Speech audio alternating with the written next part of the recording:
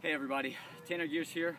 Wanted to shoot you guys this last video, my last set of this high intensity interval routine with my new toy, the Prowler Push Sled. Really excited about this device. It's really helping me develop my true potential as an athlete to reach uh, my top end, my maximum velocity by really working on my acceleration mechanics. And it's helping me do that by really reinforcing and teaching good shin angle, keeping a negative shin angle when we're accelerating out. What I mean by that is we want to keep our lower leg parallel to our upper torsos. That's really going to keep our hips uh, pushing down and through the ground, pushing down and back, keeping our foot underneath our hips and allowing us to really express the most force, most force possible through the ground helping us reach our, our true maximum velocity. When we extend that foot out prematurely, we extend that lower leg, not only are we susceptible to hamstring injuries or pulls, but we're also going to pop up prematurely and completely prevent our ability